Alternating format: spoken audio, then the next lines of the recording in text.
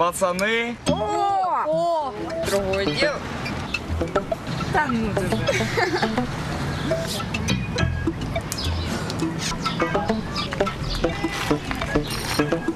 о!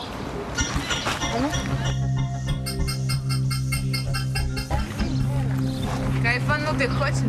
А треба! Лови! Давай кидай! Лови! Давай! Ковтай! Ну! Ковтай, кажу тобі, ковтай! Ти що, не зрозумів? Давай! Ковтай швидко, давай! Ага.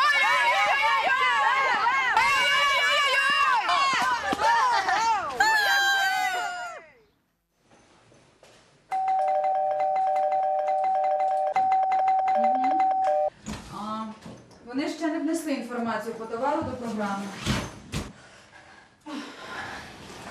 Мам! Мам! Так, я зараз перевірю, чекайте. Так. А, адреса ваша. Мама. М? Мама. Так, я знайшла. Мама. Відправляю. Хвилиночку. Сонечко, ти не бачиш я. А де ти вивалився? М? Іди помийся. Іди. Так. Я не можу зробити відгрузку. Ну, ну, ну, ну, ну! А, гол! Ха-ха-ха! Так, а. М. Давай, давай, давай, давай, пасуй, пасуй. П- Пасуй, я тобі сказав, ну. Так, так, так, так, дочка. Тихо, тихо, сонечко, ну, за- зачекай, зачекай. У мене проблема. Так, тихо, з проблемами до мами, у тата своя проблема, небезпечний момент, ну, ай! а! Мене побили. Я ж тобі сказав, спортом треба займатися. До мами йди. Давай йди звідси. До мами. Ага. Так. Угу. Та я вас попереджала, що це треба робити день в день. Так. Ну, Мам, розумієш, мене побили. так. Слухай, іди до тата, хай він тебе вчить давати здачу. Зрозумів? Я беру це на контроль. Так, я. Ми все з'ясували. До побачення.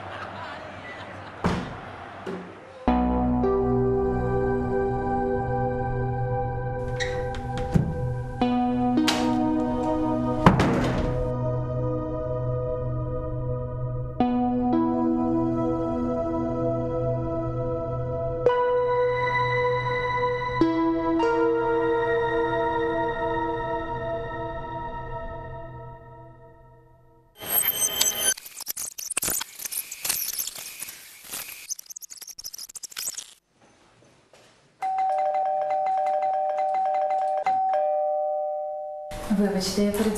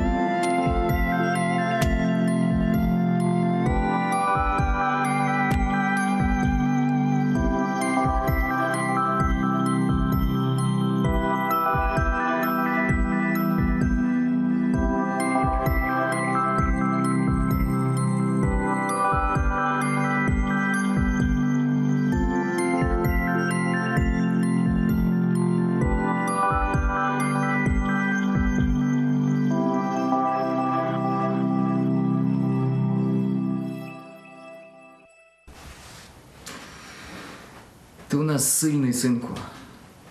Ти зумів сказати ні. Як добре, що ви у мене є.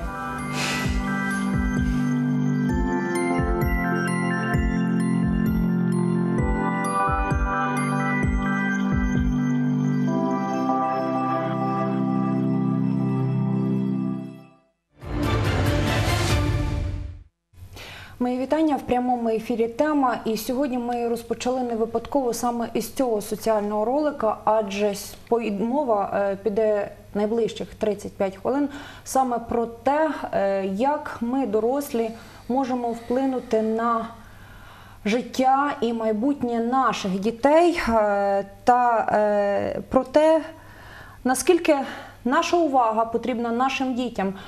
Хто може допомогти їм е, вибрати, де отой правильний шлях? Про це все сьогодні говоримо із нашими гостями в прямому ефірі. Телефон для зв'язку незмінний 61 90 60. Е, говоримо про те, як е, звернути увагу дітей е, на е, правильний вибір, е, що повинні пам'ятати батьки, на що звертати увагу, аби їхні діти не потрапили е, в тенета наркозалежності. Е, Вже 20 років е, цими проблемами, е, вирішенням їх опікується Хмельницька асоціація громадського здоров'я Вікторія. Сьогодні нас святкує своє 20-річчя. І е, про те, які напрацювання вже є, що вдалося зробити, які проекти реалізує нині, говоримо у цій студії. Знайомтеся. До нас сьогодні завідали Лариса Висоцька, президент Хмельницької асоціації громадського здоров'я Вікторія. Поруч із нею Максим Гуменюк, соціальний працівник проекту Здорова молодь, здорове суспільство. По праву руку від мене Максим Висоцький, координатор проекту Здорова молодь, здорове суспільство та Наталія Дурдас, психолог Хмельницької асоціації громадського здоров'я Вікторія. Шановні гості, доброго здоров'я. Власне, е, якщо поглянути на оцей придивитися уважно до цього ролика, в ньому показані два шляхи, як може розвиватися доля дитини, е, коли батьки знаходять час на те, аби звернути увагу на свою дитину. І е, в той, той варіант гірший, коли батькам немає коли е, побачити, чим і як живе їхня дитина. Пані Ларисо, як часто за 20 років ви зустрічалися з такими історіями? І яким, яких було більше? Все дело в том, что да, мы сегодня, спасибо большое за поздравления, мы сегодня действительно, именно сегодня, 5.05, э, мы празднуем 20 лет э, создания нашей организации, это в 97 году. Вот. И э, путь про- пройден, хочу сказать, что путь пройден непростой и немалый, потому что за это время у нас реализовано около 70 проектов, которые в основном это проекты э, были связаны с помощью э, можно так сказать, снижением вреда для наркозависимой молодежи.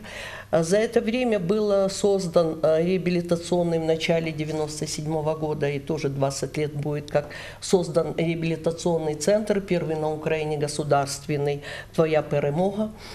И хочу сказать, что э, в основном... І він розпочинався саме з громадської ініціативи. Он, да, он начинался именно с громадской инициативы, потому что э, спасибо той власти, которая помогла сделать этот центр, и он именно это был первый проект, это пилотный проект, который мы подали на Counterpart Альянс, это американский фонд, который э, поддержал этот проект, и этот проект был пилотный, и включилась наша именно администрация тогда, государство включилось и очень помогло, потому что потом этот, э, можно сказать, этот центр стал базовым, и там мы как раз мы работали по э, модели польских моноров.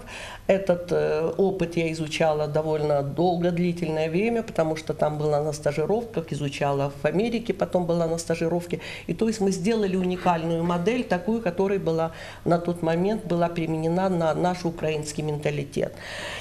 И э, хочу сказать, что в данный момент мы сейчас реализуем, можно сказать, уже четвертый проект, потому что первый проект это у нас идет основной проект, это, который финансируется глобальным фондом.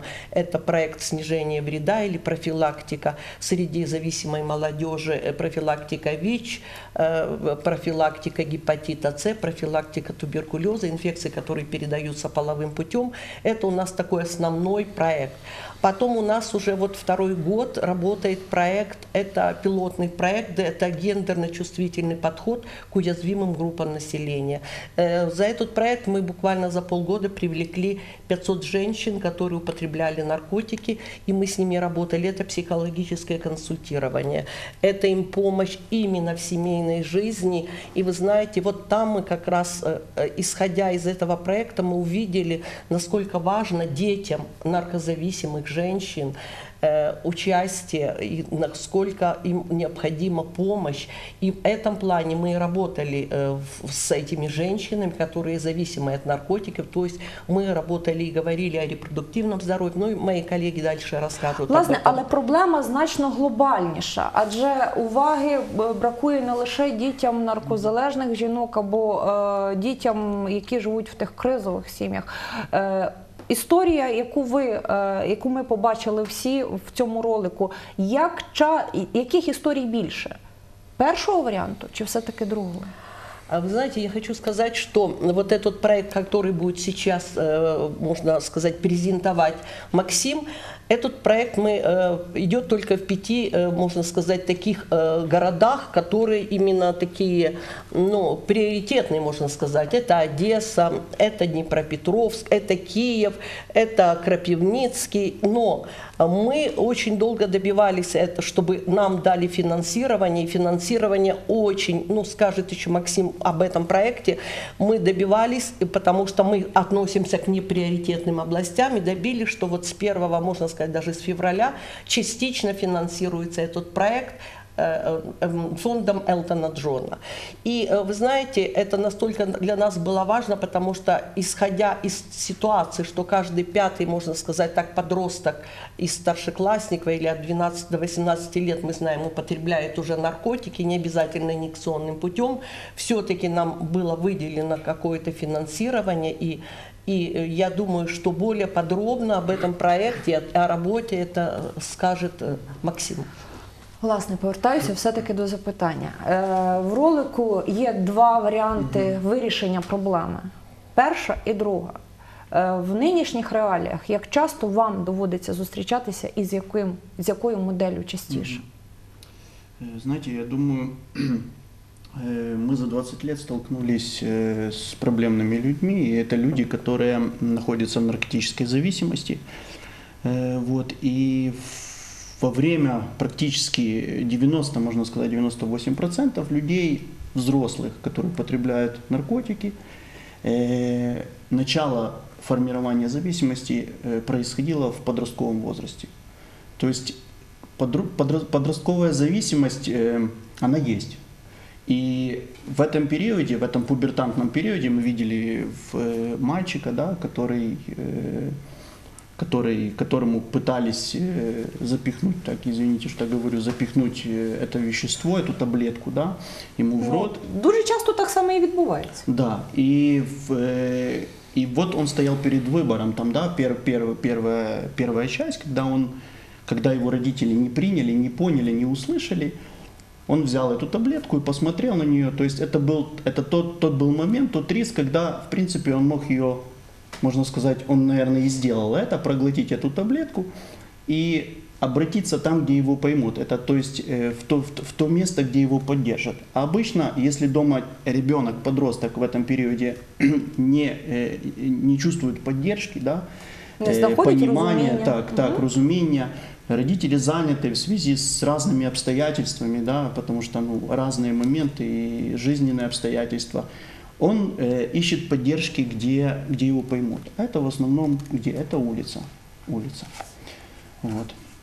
И поэтому вот э, проект, который сегодня уже мы запустили два месяца, он направлен на подростков, э, которые сейчас находятся в этом периоде, да, которые сегодня э, ищут себя, которые, которые может э, непонимаемые да, в семье, да, допустим. Або где вони родители не вважають, имеют- що діти їх вдома не розуміють, або не бачать, або ж не, не, не приймають вдома, так? Або Да. не приймають їхні погляди Да. вдома.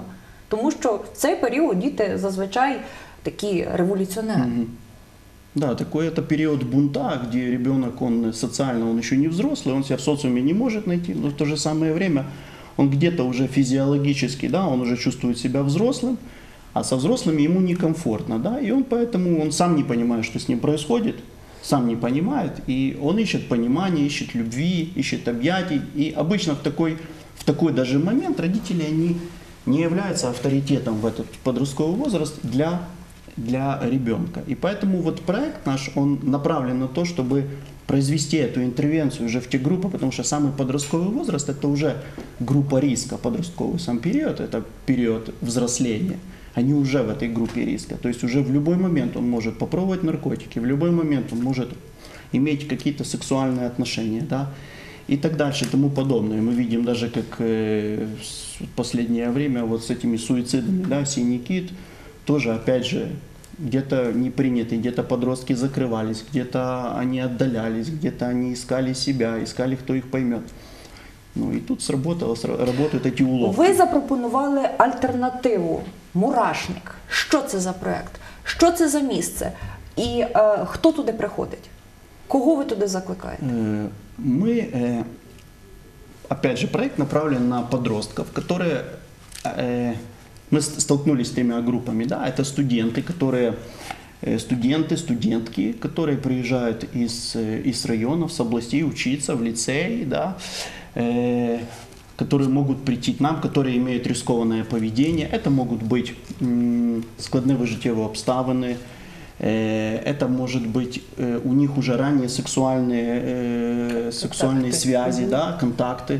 Вот. Это подростки, которые пробовали уже наркотики, да. Это подростки, которые э, уже э, употребляют наркотики. Это дети, э, подростки, которые, подростки, которые, у которых родители могут быть зависимыми, да, или алкогольная зависимость, или наркотическая зависимость.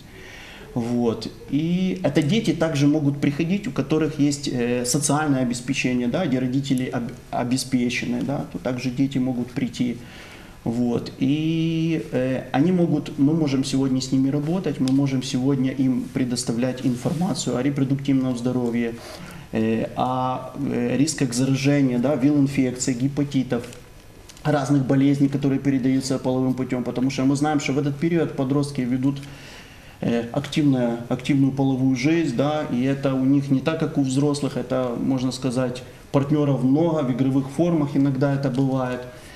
И э, в связи как бы с статистикой мы сегодня видим, что вил-инфекция, гепатиты, они сейчас передаются в основном половым путем.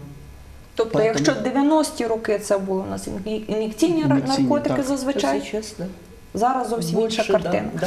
Е, і скажіть, будь ласка, е, на вашу думку, як фахівців, пані Наталії, коли батькам варто починати говорити з дітьми на такі серйозні і дорослі теми? Чи часто трапляється так, що коли батьки думають, що вже пора, діти кажуть, що ми вже, ну, Да. вже пізно. Да. Ну, Исходя из практики, мы видим именно, именно это, потому что э, к нам приходят подростки э, от 12 лет, вот я с девочками э, разговаривала, от 12 лет до 16 лет, и девчонки задают разные вопросы, мы понимаем, что ответы на свои вопросы дома они не получают. Мы знаем, сейчас очень тяжелая экономическая ситуация, то есть родители пытаются как-то выживать, зарабатывать деньги, многие родители уезжают за границу работать, и дети остаются с бабушками, дедушками. Естественно, э, дети не получают ту информацию, которую должны получить от мамы. А самое страшное, они не получают любовь.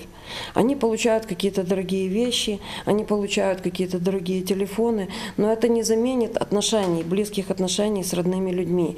И когда они приходят на, на контакт, когда они приходят на разговор, и- иногда достаточно просто выслушать подростка для того, чтобы понять, э, в чем подросток находится и чем ему помочь. Е, Власне, е, про е, те, як діти ставляться і що дітям потрібно насамперед від батьків в наступному соціальному ролику. Далі продовжимо.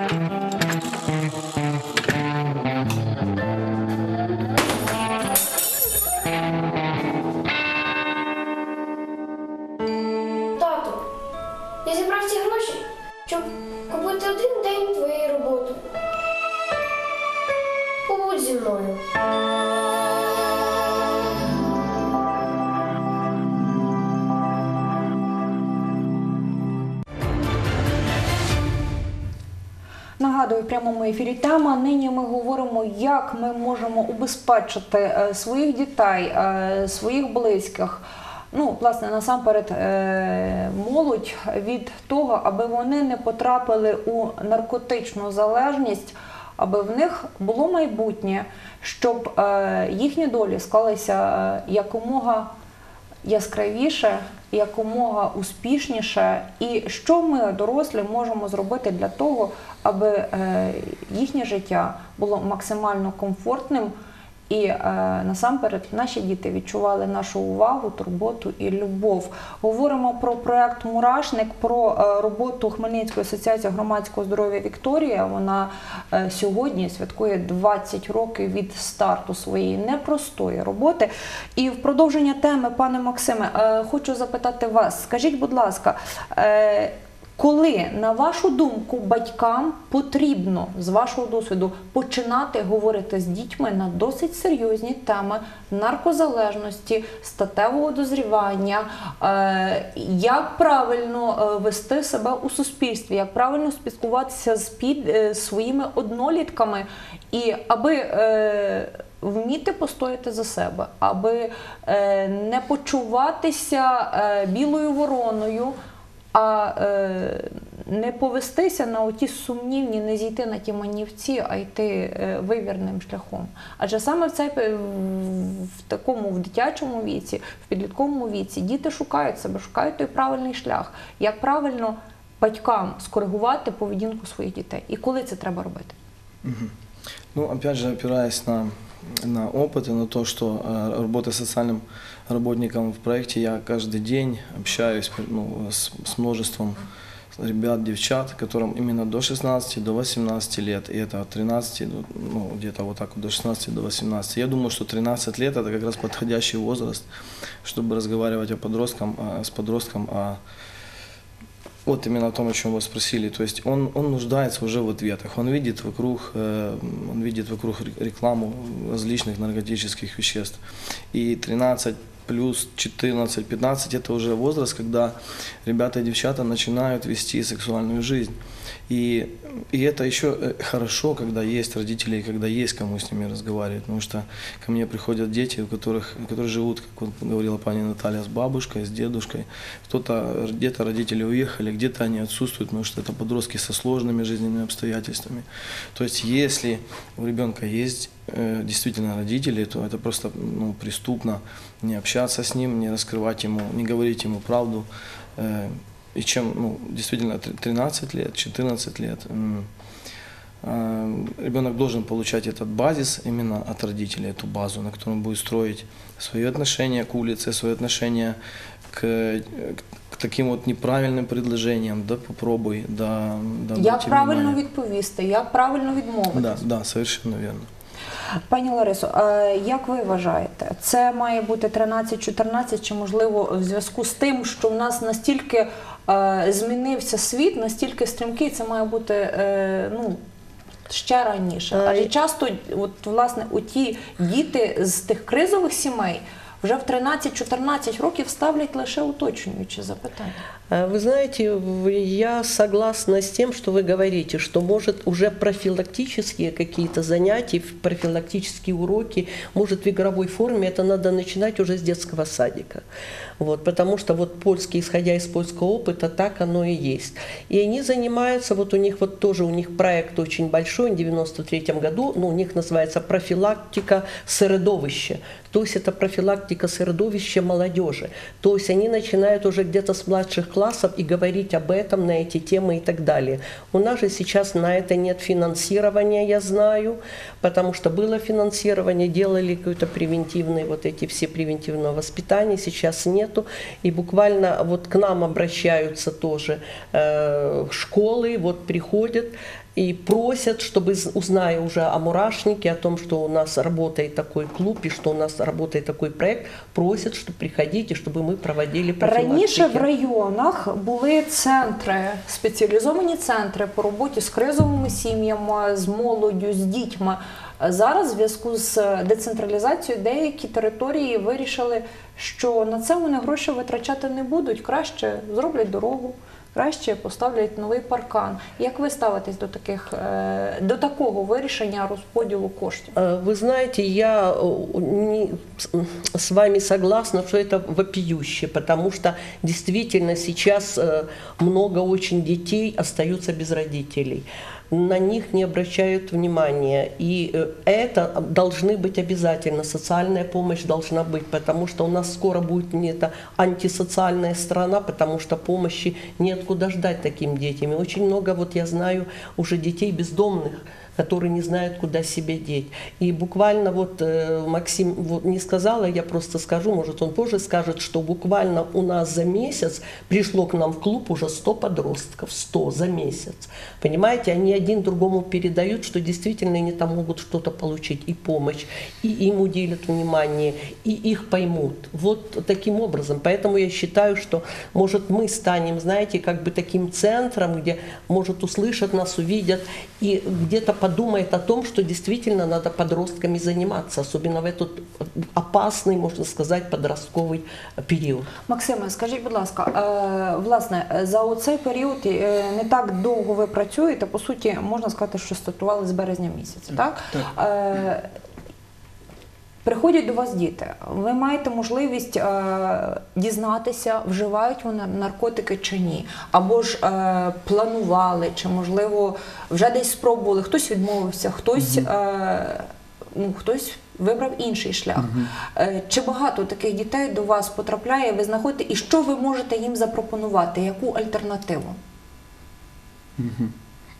Смотрите, э, да, э, детей у нас э, за этот период около больше ста уже, да, пришло, вот уже два месяца, как мы работаем. Э, Есть разные дети, э, дети, которые пробуют периодически, есть дети, которые, которые систематически уже употребляют, есть есть и девочки, которые ведут и уже активную сексуальную жизнь, да. Вот. И сегодня альтернатива – это и здоровый образ жизни. Да? Мы сегодня пытаемся найти эту альтернативу вместе с ними. Э, И мы э, сегодня, знаете, мы не пытаемся им навязать этого, то есть не пытаемся им как-то, знаете, как вдолбить в голову. Вот. Мы пытаемся сегодня выслушать их, э, стать, можно сказать, друзьями для них, да, но в то же самое время произвести свою интервенцию. Да? Мы сегодня м, По альтернатива... протягнути їм руку. Да, да, и, и найти с ними вместе эту альтернативу, найти выход из этой э, кризисной ситуации, потому что у каждого есть своя история, у каждого есть своя ситуация, св- свой путь, как бы, да, знаете, у каждого, каждый со своей историей, и истории разные. Вот. И э, мы пытаемся вот сейчас э, стартанем со спортивными соревнованиями, да, про- проводить профилактические квесты, да, мы пытаемся их вовлечь, быть волонтерами, проводить также профилактики, первичные профилактики в школе. Мы пытаемся сегодня увидеть, что, чтобы они увидели, что сегодня на самом деле, знаете, рас, раскрась свой мир. То есть сегодня можно раскрасить свой мир э, такими тонами красочными, яркими, без наркотиков, да, без, без сегодня без, э, без депрессии, да, когда ты в депрессивное состояние подросток попадает, и он не видит выхода. Мы сегодня можем найти вместе с ним этот выход. Да. Запропонувати йому альтернативу. То есть мы э, помогаем, знаете, вот в чем э, какой смысл? Мы помогаем найти, чтобы он нашел ресурс в себе, найти это преодолеть. То есть определенную депрессию, определенный какой-то барьер, да, определенную кризу, да, мы помогаем, мы становимся рядом, но выбор его, да, мы не, не пытаемся ему говорить, э, Це погано, да, це погано, да, потому что, знаете, как это их наоборот отталкивает. Мы сегодня работаем вместе с ними и пытаемся найти эту альтернативу, э, выходы на природу. У нас есть определенные правила, да, определенные правила в клубе. э, где они там не, не, не, не, не матерятся, да, э, где, например, они приходят, можно сказать, в трезвом состоянии, не там не распивают спиртные напитки, еще там не, не употребляют наркотики. То есть это клуб создан, где мы их учим здоровому образу жизни, да, интерактивные игры, походы в кино, да, и так дальше. Вот мы очень много планируем вообще и, и поэтому... Для того, щоб реалізувати е, інколи замало просто бажання, замало просто ініціативи. Треба і е, фінансова підтримка, фінансове підґрунтя. Е, в Хмельницькому е, задекларовано і минулого року, і цього року е, так званий громадський бюджет. Причому мова йде про мільйон або ж мільйони гривень. Чи маєте ви можливість, чи можливо не тільки можливість, бажання, і чи пробували ви знайти порозуміння з міською владою для того, аби отримати допомогу і разом з муніципалітетом спробувати вирішити досить серйозну, глобальну по суті проблему для е, Хмельницького, адже ну так склалося. Батьки намагаються заробити гроші інколи е, в, скажімо так, нехтуючи інтересами своїх дітей. Анечка, я хочу сказать, что да, мы обращались э, уже в местную власть, и я лично несколько раз встречалась с Галиной Леонтьевной Мельник. Э, Нам говорили, что будет какой-то объявлен конкурс громадские инициативы. Э, Вот, сказали, что нас поведомлять. Э, Я несколько раз звонила, то говорили, что сессия тільки відбулась. Так, этот проект и не запущен. У нас готовый этот проект есть. Мы объясняли, что у нас финансирование минимальное, нам очень многого не хватает. Буквально мы сами там и ремонт сделали в этом клубе, и мы берем какие-то финансы на из других проектов, тоже стараемся как-то помочь, потому что это это, это очень актуально, и поэтому мы бы хотели, чтобы действительно власть нам помогла, и просим так сейчас ищем спонсоров, чтобы нам немножко помогли. Разом з тим, е, доля наших дітей насамперед залежить від того, як ми ставимося до них і який приклад показуємо їй.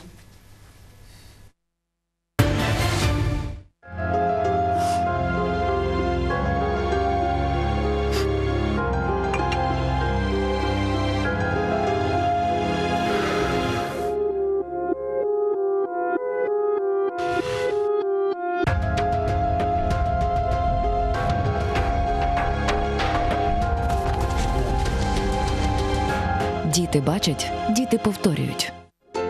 Наша увага це найкраща профілактика.